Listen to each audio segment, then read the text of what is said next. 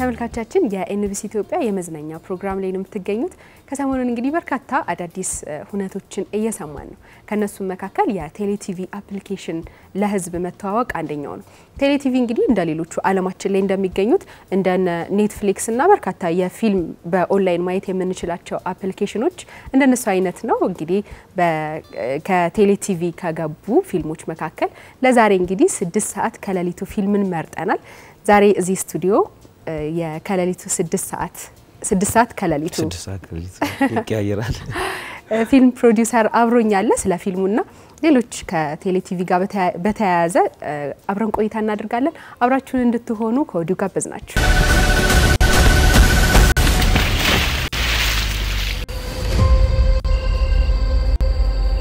እንዴት ነህ? እግዚአብሔር ይመስገን። አክብረኸኝ ስለመጣህ አመሰግናለሁ። እኔም በጣም ስለጠራችሁ አመሰግናለሁ። በጣም እንተዋወቅ። በሸነና እባላለሁ። በሸነና ቦሩ የፊልም ፕሮዲሰር እና የሙዚቃ ፕሮዲሰር እንዲሁም ደግሞ የስድስት ሰዓት ከሌሊቱ executive producer ነኝ። ስድስት ሰዓት ከሌሊቱ ፊልም እንግዲህ አሰራሩም እስከ ዛሬ ከምናያቸው ፊልሞች ትንሽ ወጣ ያለ ነው። የአስፈሪ ዘውግ የያዘ ፊልም ነው። እስቲ ስለ አሰራሩ እናውራ። ያ ስድስት ሰዓት ከሌሊቱ ያው በ genre ኡ እንዳልሽው ነው። ትንሽ ለእኛ ሀገር ለየት ያለ ይመስለኛል። እኔም እሱ ነገር ይመስለኛል የሳበኝና ደራሲና ዳይሬክተሩ በኃይሉ እንግዳ ነው፣ ጓደኛዬ ነው። መጀመሪያ ላይ ያው script ኡን ሳየው በጣም ነበር የወደድኩት። ሀሳቡ ትንሽ ወጣ ያለ ነው፣ horror ምናምን ነገር ነው እና እኛ ሀገር በእርግጥ market ማድረግ ለማድረግ produce ለማድረግም ይከብዳል። market ላይሆን ይችላል የሚል ስጋት ስላለ ስላልተሞከረ ያው ግን እግዚአብሔር ይመስገን output ኡ አሁን ደግሞ ጥሩ ሆኗል። እንግዲህ የሰውን reaction በጣም ደስ የሚል ነው። በጣም እንግዲህ ያልተለመደም ስለሆነ ነው። ሌላ ደግሞ ያየሁት ነገር ሌሊት ላይ ነው ሙሉ scene ኡ አብዛኛው scene ኡ የተቀረጸው ነው። በጣም challenging ሊሆን ይችላል ብዬ አሰብኩኝና እስቲ ቀረጻ በቀረጻ ጊዜ የነበረውን ወቅት አስታውሰንና ንገረን። ያ አብዛኛውን scene movie ው ላይ እንዳያችሁት ያው ሌሊት ነው የሚበዛው። ሌሊት ላይ ነበር በብዛት ቀረጻ የሚደረገውና so አንድ ቦታ ካምፕ አድርገን ነበር የሰራነው የመጀመሪያውን ዙር ስንሰራ ሀራሎጅ የሚባል ቦታ እና ሌሊት ላይ መስራት ትንሽ ይከብዳል። ያው እኔ በእርግጥ ያው ከኋላ ስለሆንኩኝ ብዙ ነገር ከኋላ ነው እንትን ስለ ነበረው፣ ግን ለ actor ኦቹ specially ውሃ ውስጥ መግባት አለ፣ መንከባለል አለ፣ ጉድጓድ ላይ ጉድጓድ ውስጥ መግባት አለ፣ መዝለል፣ መነሳት እነዛን ሁሉ በዛ ሌሊት እና አንዴ ሁለቴ ምናምን ሶስት እየደጋገሙ ውሃ ውስጥ እየገቡ እየወጡ ሲሰሩ እነሱ በጣም ትልቅ እንትን ውስጥ እንዳለፉ ነው ማስበው እና ሌሊት ላይ መሆኑ ያው ብዙ አስደንጋጭም አስፈሪም አንዳንድ ነገሮችም ፈኒ ነገሮችም ገጥሞናል። ብቻ የሆኑ የሆኑ ነገሮች አለ። እስቲ ምሳቃት ነገር አይ አሁን እንደዚህ እንደዚህ ብዬ ማስታወሰው moment የለም። ብቻ አስፈሪ ከማስታወሳቸው አስፈሪ moment ኦች መካከል የሰላምን ሰላም ተስፋዬ አንድ መርዛማ የሆነ ጊንጥ ነው ምናምን እዛ አካባቢ ላይ የሚገኝ ሊነድፋት ነበረ። በጣም it was dangerous ያ አንገቷ ላይ ምናምን አላየችውም። የሆነ ሰዓት ላይ እኛም እንደ ቀልድ ምናምን ነገር ነበር የታለፈው ያ moment። ግን finally ስንሰማው በጣም መርዛማ አካባቢ ላይ ነበረ። መርዛማ የሆነ እንትን ነውና scene ኑም ደግሞ live ነበር የተቀዳው። አይተሽ ከሆነ almost ወደ ሁለት ሜትር ምናምን ጉድጓድ ተቆፍሮ እዛ ውስጥ live ከላይ ሳር ምናምን ተደርጎ እየሄደች ስትገባ ምናምን ነገር ነውና እሱ እሱም በጣም የሚገርም part ነው። ከዛም ነባም እንደዚሁ ሌሊት ላይ ሲንከባለሉ እንጨት ወግቶት አንድ ቦታ ላይ ከሞት ነው የተረፈው። almost በጣም ረጅም እንትን ላይ ተራራ ላይ ሲንከባለል ነበርና live ለመሞከር ሌላ ደግሞ በጣም የሚገርመኝ የሰላም ከኮንቴነር ላይ ምናምን ወደኋላ back አድርጋ የዘለለችበት ምናምን አለና እነዛ እነዛ moment ኦች ያው አሪፍ ነበሩ። ለእነሱ በጣም experimental ነገር ነበረ፣ አስፈሪ ነገርም ነበረ። ግን finally successful ሆኗል ብቻ አሁን እንደዚህ አይነት ነገሮችን እኛ ፊልሙን ነው የምናየው፣ output ኡን የወጣውን ነው እንጂ እንደዚህ አይነት ነገሮችን አንሰማም። ና እሱንም አስቤ ነው አንድ የጠየኩ። ልክ ነው ልክ ነው መነገር አለባቸው እንደዚህ አይነት ነገሮች እና በጣም thank you ልላቸው እፈልጋለሁ። ደግሞ በጣም ትልቅ ያው ለራሳቸውም ክብር ስለሰጡ ለሙያውም ክብር ስለሰጡ ለፕሮጀክቱም ደግሞ ትልቅ ግብዓት ስለሰጡ በጣም thank you ልላቸው እፈልጋለሁ ባለሙያዎችንም የእውነት ዋጋ የተከፈለበት በደንብ በደንብ የምር የምር ብዙ አጋጣሚዎች ነበሩ ከሞት የተረፉበት በጣም ብዙ ከዛ በተጨማሪ እንግዲህ ሌሎች የፊልም ስራዎች ላይ እንደተሳተፍክ አውቃለሁኝ እና እስቲ አስታውሰን በምን በምን እንደተሳተፍክና yeah እኔ ወደ ፊልም የገባሁት በሙዚቃ ነው፣ በ score ነው፣ በ sound score። የመጀመሪያ ስራ ጃሎ የሚባል ፊልም ነው። እሱም የባህሉ እንግዳ script ነው፣ ደራሲና ዳይሬክተር። so እንደ አጋጣሚ ነበር ያው በሱ invitation ነው። ያው እኔ normally ሙዚቃ እጫወት ነበረ church ውስጥ። ከዛ ሲያይ ምናምን ያው movie ላይ ብትገባ ጥሩ ትሰራለህ የሚል ሀሳብ አመጣልኝ። ከዛ በኋላ እስኪ እንደዚህ እንደዚህ ሞክር እየተባለ ስሞክር ጥሩ ነኝ። በ movie ው ነው የገባሁት፣ በሙዚቃው ነው የገባሁት ማለት ነው ወደ movie ው። so የመጀመሪያ ስራ ጃሎ ነው። ከዛ በኋላ ደግሞ ሁለተኛው ደግሞ አንሳሮ ነው። እዛም ላይ sound score፣ የመጀመሪያው ላይ ጃሎ ላይ soundtrack እና sound score ነው እና ሁለቱም ደግሞ እንደ አጋጣሚ ሆኖ best five ሆነዋል ጉማ award ላይ በጊዜው። እና እነዚህ ነበሩ። ያው የተሳተፍኩባቸው movie ዎች ጅማሮህም በትልቅ በከባድ ነው አዎ፣ የጀመርከው። እንደ አጋጣሚ ሆኖ ጥሩ ነበር። እግዚአብሔር ይመስገን። አምላኬ። ከዛ ውጭ እንግዲህ ስለዚህኛው ፊልም ስናይ መጀመሪያ እንዲ የታጨህበትን ፊልሙ ላይ ለመግባት? ፕሮዲሰር እንግዲህ ትልቅ ነው እና እንዴት እንደገባ በምን አጋጣሚ ይሄንን እድል እንዳገኘው እስቲ ያጫውተናል። ያው እንዳልኩሽ ወዳጅ ጓደኛዬ ባያ ነው ይህንን script የጻፈው የስድስት ሰዓት ከሌሊቱንም። so አጋጣሚ ነው እንዲሁ እሱ ጽፎ የሆነ የሆነ እንደዚህ እንደዚህ አይነት story ጽፌ ያለ ምናምን ብሎ አሳየኝ። እኔ በእርግጥ produce የማድረግ ሀሳብ ምናምን አልነበረኝም። ያው ነበርኩኝ ሙያ ውስጥ እንጂ እንደዚህ ወደ produce ወደ ማድረግ እገባለሁ የሚል ሀሳብ አልነበረኝም። እንደ አጋጣሚ ሆኖ ለሌላ ፕሮጀክት አንድ research እየሰራሁት የነበረው ፕሮጀክት አለ እና ለእሱ ምናምን እያልኩኝ ገንዘብ ምናምን እያዘጋጀሁ ምናምን ነበረ ሳየው የባየ ሀሳብ በጣም ገዛኝ interesting ነበረ እና በቃ እንስራው ምናምን ነገር የምር ነው እንስራው በቃ እንስራው አይነት ነገር ተባብለን እንትን በጀት አወጣና ምናምን ምናምን አልኩት። ከዛ እሱም ሸወደኝ በጣም ትንሽ አድርጎ ነገረኝ መጀመር ጩጬ አድርገው እንደዚህ እንደዚህ ናት ምናምን ምናምን በቃ እቺ ናት እቺ ናት አለ። በቃ እሺ እንግባበት አይነት ነገር ከዛ ግን ወገቤ ተቆረጠ። ብቻ አሪፍ experience ነው እና በእንደዛ አይነት አጋጣሚ ነው የጀመርኩት።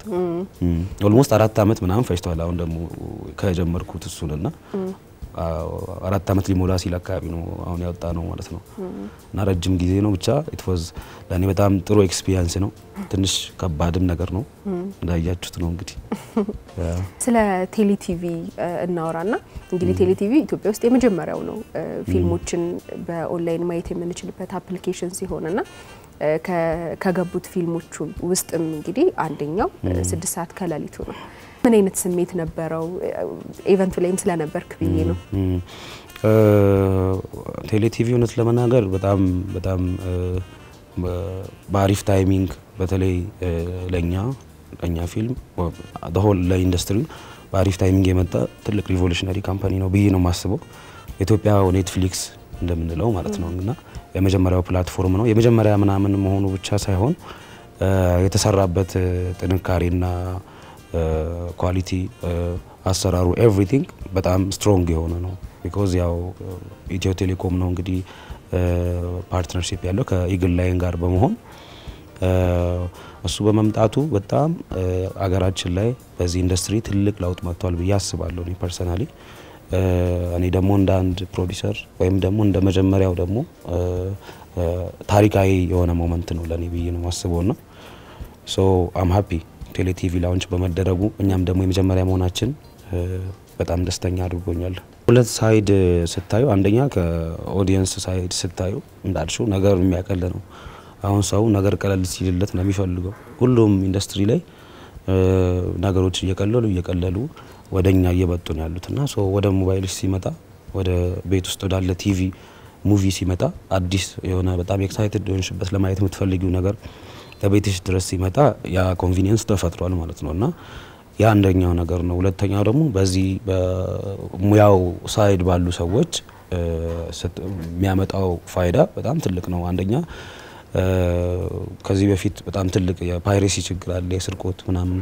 አሁን እንሳሮ ራሱ አስታውሳለሁ ተሰርቶ በሶስተኛው ቀን ምናምን የተሰረቀው ና ተሰርቆ በቃ simply ምንም ነገር ዋጋ እንዳልተከፈተበት እንዳልተከፈለበት ሰዎች ጋር ሊሰራጭ ነበርና ያ ነገር strongly መቅረት ችሏል። አሁን ስርቆት የሚባል ነገር ፊልም ላይ የለም።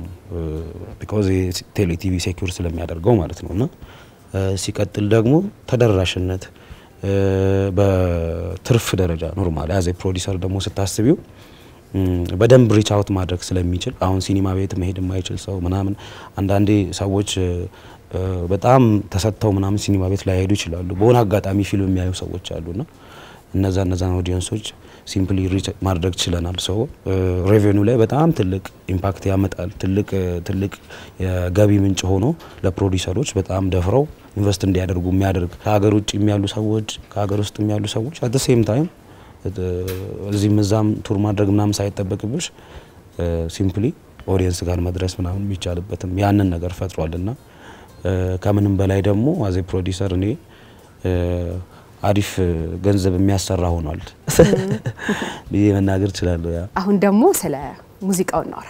ስለ soundtrack ኡ እንዴት ተሰራ?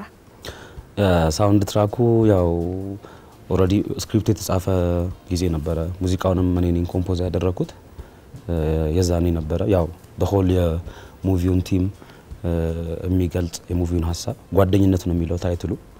እሱን የሚገልጽ ዜማ በኔ ነበረ፣ ግጥም በኔ I mean ዜማና ሙዚቃ በኔ ግጥም በዮይ ትባላለች። እንደገና ደግሞ ስካትናቲ featuring አለበት። ሌላ ደግሞ አንድ ድምጽ ኤዲ ሄቨንሊ የምትባል እሷን featuring አለችበት። ያው almost ከ movie ው እኩል ነገር ነው develop እያደረግኩት የመጣሁት። ያው እኔው ስለሆንኩኝ compose እያደረግኩ የነበረው የዛሬ አራት ዓመት አካባቢ ስንጀምረው ነው የጀመርኩት። አሁን ደግሞ currently ለብቻው ሰርተን በ video clip ለማውጣት ሀሳብ አለን። በቅርቡ ይወጣል ማለት ነው። እንግዲህ ስትሰሙት እስኪ እንዴት ነው የሚለውን ለብቻው ሲሰማ ደግሞ እሱን ደግሞ ትሰሙታላችሁ በቅርቡ እንጠብቃለን ማለት ነው። አዲስ video clip ተሰርቶለት አልተለመደም እንደዚህ አይነት ነገር እንዴት አሰባችሁት?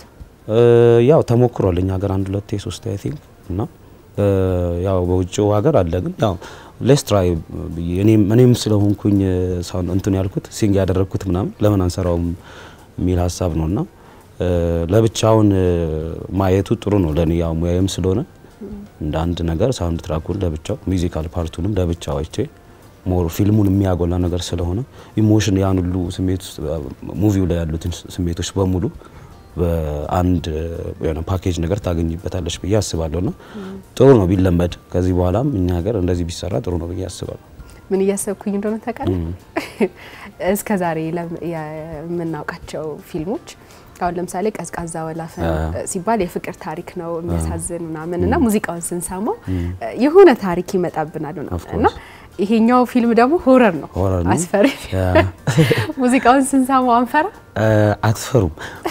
መፍራት ሳይሆን horror ቢሆንም genre ኡ እዛ ውስጥ የሆኑ ጓደኞች ናቸው ችግር ውስጥ የገቡትና የሚዋደዱ ሰዎች እና trip ሄደው አንድ ላይ ተሰብስበው እንደ አጋጣሚ የሆነ hassle ውስጥ ገቡ። ችግር ውስጥ ገብተው እዛ ውስጥ lose ያደረጉት ሰው አለ፣ ያጡት ሰው አለ።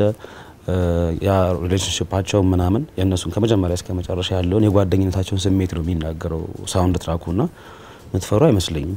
ያው ትንሽ ልታዝኑ ምናምን ልታዝኑ love አለው ሀዘን አለው ምናምን እነሱ መካከል ያለው life story የሚናገር ነገር ነውና እንደዛ አይነት emotion ያለው እንጂ አያስፈራም።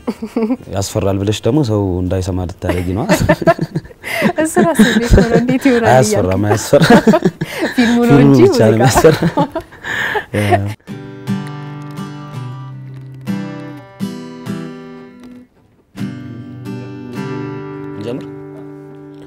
ያሳለፍናቸው ጊዜ ተመንዝረው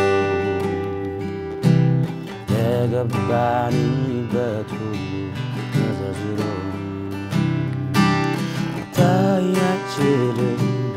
ያልንተው ያኖርነው ፍቅር በቃል ተገልጾ ተመልካቾቻችን አሁን ደግሞ የ Eagle Lion ስራ አስኪያጅ ጋር ቆይታ አደርጋለሁኝ። አሁንም አብሮነታችሁ ከኛ ጋር ይሁን። እንኳን ደህና መጣ። እንኳን ደህና ቆያችሁ። ራስህን አስተዋውቀን። በእርሱ ፍቃድ ጌታቸው እባላለሁ የ Eagle Lion System Technology ስራ አስኪያጅ። ዛሬ እንግዲህ የተገናኘንበት ዋነኛ ምክንያት ስለ ቴሌቲቪ ልናወራ ነው። ቴሌቲቪ ምንድን ነው? ዋና ጽንሰ ሀሳቡ ምን ምን ይመለከታል? ቴሌቲቪ እንግዲህ በአይነቱ ለየት ያለ የመጀመሪያም የምንለው በኢትዮጵያ የ movie market place ወይም የፊልሞች ሰዎች በቀላሉ ሲኒማ መሄድ ሳይጠበቅባቸው ቆንጆ ቆንጆ ፊልሞችን ባሉበት ቦታ ሆነው በስልካቸው በተለያዩ device ኦች ማየት የሚችሉበት የኦንላይን ሲኒማ የ streaming platform ነው። እንቅስቃሴው እንዴት ነው? እንግዲህ ከተዋወቀን አንድ ሳምንት ሆኗል። በአንድ ሳምንት ውስጥ ያሳየው እንቅስቃሴ progress ምን ይመስላል? እንግዲህ በቴሌቲቪ በጣም በሁለት በኩል ከፍዬ እንግዲህ brief ላርግሽ እሱንና የመጀመሪያው በ normal ተጠቃሚዎች ደንበኞች በኩል ያለ ሁለተኛ ደግሞ overall industry ው ላይ ያመጣው impact ምንድን ነው የሚለውን እንትን ልበልሽ ና በመጀመሪያ ደረጃ በጣም successful የሆነ launching ነው ያደረግነው። እዚህም ላይ አርቲስቶች፣ የተለያዩ ትልልቅ producer ኦች፣ industry ው ላይ ያሉ እዚህ ሴክተር ላይ ያሉ የተለያዩ stakeholder ኦች በተገኙበት ነው launch ያደረግነው። ኢንዱስትሪው ላይ ያሉ actor ኦች እንግዲህ በጣም በከፍተኛ ደረጃ እኛም በጣም እስኪገርመን ድረስ በሚገርም ሁኔታ ተቀብለውታል platform ኡን። so እዚህ platform ላይ ለመስራት ያለው ተነሳሽነት በጣም በሚገርም ሁኔታ እየተዘጋጁና እየሰሩበት ይገኛሉ። እሱ አንዱ ነው። ሁለተኛው ደግሞ በደንበኞች በኩል ደግሞ በጣም ከፍተኛ በመቶ ሺዎች የሚቆጠሩ ደንበኞች በአንድ ሳምንት ውስጥ ይህንን platform በማውረድ ፊልሞቹን እያዩ ይገኛሉ። እንግዲህ እውነቱን ለመናገር የ customer engagement ኡ በጣም ከፍተኛ ነው። በዚህ ልክ መበደልም አልነበረበትም። customer ኡ ጊዜያዊ ቴክኖሎጂ ነው። ባለበት ቦታ ሆኖ በምቾት የሚፈልጋቸውን ፊልሞች መመልከት የሚችልበት ሁኔታ መፈጠር ነበረበት። ግን እስከዛሬ ድረስ አልነበረም። አሁን ላይ የሀገር ውስጥ ብቻ ሳይሆን በውጭ ሀገርም ያሉ Ethiopian ዲያስፖራዎች የኢትዮጵያ ፊልም አፍቃሪያን በ foreign currency እየገዙ በዶላር እነዚህን ፊልሞች rent እያደረጉ እያዩ ይገኛሉ። እንግዲህ ቡና፣ ሰሊጥ፣ አበባ ነበረ ኢትዮጵያ ውስጥ እስከዛሬ ኤክስፖርት ተደርጎ ዶላር ሲያመጣም የታየው እንግዲህ በአንድ ሳምንት ውስጥ ብቻ in thousands ዶላር አስገኝቷል። ብዙ audience ኦች እየተመለከቱት ይገኛሉ። በጣም promising ነው። የ customer ኡም engagement amazing ነው። customer ኡም ካየ በኋላ ደግሞ የሚሰጠው feedback ቆንጆ ነው። በጣም ጥሩ እንትን ያየንበት ፊልሙ ላይ ያሉ ተሳታፊዎች actor ኦችም ጭምር writer ኡም ጭምር ዳይሬክተሮችም ሁሉም የተሻለ ነገር ያገኛሉ። so overall industry ው ነው የሚያሳድገው እና የሆነ application የሆነ ሰው የሚያየው ብቻ ሳይሆን ቴሌቲቪ ሁሉንም end to end እዚህ ሴክተር ላይ ያሉትን በሙሉ መጥቀም የሚችል ከዛ አልፎ ደግሞ እንደ ሀገር image build ከማድረግ አንጻር ይሄ ሴክተር በጣም ትልቅ ሴክተር ነው። ሌሎች ሀገራት ላይ በደንብ monetize ተደርጎ ለሀገሪቱ ኢኮኖሚም ትልቅ contribute የሚያደርግ ኢንዱስትሪ ነው። እኛ ሀገር ግን እስከዛሬ በጣም እየቀጨጨ ከጊዜ ወደ ጊዜ በጣም እየቀነሰ እየሄደ የነበረበት ሁኔታ ነው ያለውና ይህን ኢንዱስትሪ ከማነቃቃት እና ከማንሳትም ጋር ትልቅ ስራ የታየበትና ትልቅ impact ያመጣ product ነው። እንደዚህ አይነት application ኦች መኖራቸው የፊልም ኢንዱስትሪው ምን ያክል ያግዘዋል? ከ copyright ጋር በተያያዘም እንዲሁም የሰዎችን ሕይወት ሲኒማ ቤት መሄድ ላልቻለ ሰው በቀላሉ ፊልሞችን ማየት ከማስቻል አኳያም ምን አይነት ለኪነ ጥበቡ በአጠቃላይ ምን አይነት ፋይዳ አለ? እንግዲህ ቴሌቲቪ ያለው impact ያመጣውም ኢምፓክት በጣም ከፍተኛ ነው። ቅድም mention እንዳደረግኩት የመጀመሪያ ተጠቃሚ እዚህ ሴክተር ላይ ያሉ ባለድርሻ አካላቶች ናቸው። ያ ማለት አንዱ ኢትዮጵያ ውስጥ distribution channel የለም ነበር፣ gap ነበረ። እንዴት አንድ ፊልም ከተሰራ በኋላ properly distribute ካልተደረገ ለ customer ም ተደራሽነት አይኖረውም። ሁለተኛ ደግሞ ያንን ፊልም የሰራው ፕሮዲውሰር ወይም ደግሞ የዛ ፊልም ባለቤት ከዛ ፊልም ማግኘት ያለበትን ጥቅም ማግኘት አይችልም ነበር። ምክንያቱም ሲኒማ ቤቶች በቦታ ውስን ናቸው። ሰዎች በአካል መገኘት ይኖርባቸዋል። አሁን ግን በአካል መገኘት ሳይጠበቅባቸው በሀገር ውስጥ የሚሆን በ international ደረጃ ፊልሞቻቸውን ማሳየት የሚችሉበትን እድል ነው የፈጠረው እና ቴሌቲቪ it's not only የ product ecosystem ን renovate ከማድረግ revolutionize ከማድረግ አንጻር ትልቅ benefit አለው። ምክንያቱም ፕሮዲሰሩ ጥሩ income ማግኘት ከቻለ ለ actor ኡ ጥሩ ይከፍለዋል። ጥሩ ጥሩ ጽሁፎችን implement ማድረግ ይጀምራል። ጥሩ ጥሩ ፊልሞች መውጣት ይጀምራሉ። so አጠቃላይ የፊልም ኢንዱስትሪውን ያነቃቃ ነው። የማይነካው እንትን የለም። customer ኡ በ convenience ያህል ቤቱ ቁጭ ብሎ መኪና ውስጥ ሊሆን ይችላል፣ anywhere ባለበት ቦታ ፊልሞቹን ያህል ፕሮዲውሰሩ ጥሩ ገንዘብ make ያደርጋል። ከሶሻል ሚዲያዎችና ከሜንስትሪም ሚዲያዎች ምን ይለያል? ምክንያቱም አሁን ላይ በቀላሉ በ social media ዎች እንትኖችን ማግኘት እንችላለን ፊልሞችን፣ በተመሳሳይም በሚዲያዎች ላይ እና የቴሌቲቪ application ኑ የተለየ ነገሩ ምንድን ነው? ቴሌቲቪ secured የሆነ application ነው። ከዚህ ባለፈ ቴሌቲቪ ላይ የሚገኙ ፊልሞች ወይም ደግሞ content ኦች የትኛውም social media ላይ ወይም ደግሞ በቲቪም በሜንስትሪም ሚዲያዎችም በየትኛውም ሚዲያ ላይ አይገኙም። even ቴሌቲቪም ላይ በሚታይበት ጊዜ በማንኛውም ሲኒማ ቤቶችም ላይ አይገኙም እነዚህ ፊልሞች። ስለዚህ only on ቴሌቲቪ በሚል ነው promote ም እያደረግን ያለ ነው። ፊልሞቹም content ኦቹም የሚገኙት ቴሌቲቪ ላይ ብቻ ነው። አንዱ እሱ ለየት ያደርገዋል። exclusive content ኦች ብቻ ነው ወይም ፊልሞች ብቻ ነው የምናቀርበው። ከዛ ባለፈ ደግሞ security ው ነው secured ነው በደንብ customer ኦች የፊልሙን ባለቤት right ን በሚጠብቅ መልኩ secured የሆኑ content ኦችን ነው እዛ ላይ avail ም ያደረግ ነው።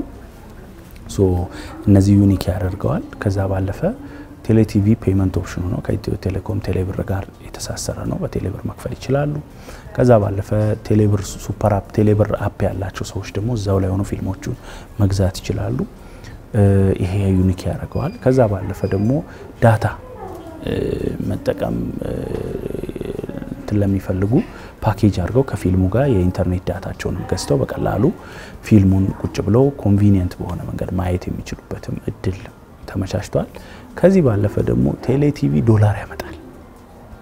ስለዚህ አንዱ እንደ ሀገር ካለብን የ foreign currency እጥረት አንጻር እንደነዚህ አይነት use case ኦች foreign currency ን የማምጣት እድላቸው በጣም ከፍተኛ ነው። ምክንያቱም customer ኡ convenience ስለሚፈልግ ባለበት ቦታ ሆኖ ሲያይ በዶላር ይከፍላል። በ volume ም ቀላል የማይባል foreign currency ማምጣት እንችላለን ማለት ነው እና እነዚህ ለየት ያደርገዋል። ሌላኛው የመጨረሻው international standard solution ነው ይዘን የመጣ ነው ወደ market ኡ millions of customers መጠቀም የሚችሉበት at a time convenient user friendly secured የሆነ platform ነው ይዘን የመጣ ነው። ኢንዱስትሪውን የሚመጥን ዓለም አቀፍ ደረጃውን የጠበቀ የኢትዮጵያ content ኦች only በ local globally መታየት የሚችሉበትን ካፓሲቲ ያለው ጠንካራ ፕሮዳክት ነው ይዘን የመጣ ነው። እነዚህ እነዚህ ለየት ያደርጉታል። እንግዲህ ብዙ ለየት ወዳጅነት ማለት ካሉኛን ከልጅነት አብረን ያደግ ተጨቃጭ ቀለሙ የታረቅ ጓደኝነት ማለት እኛን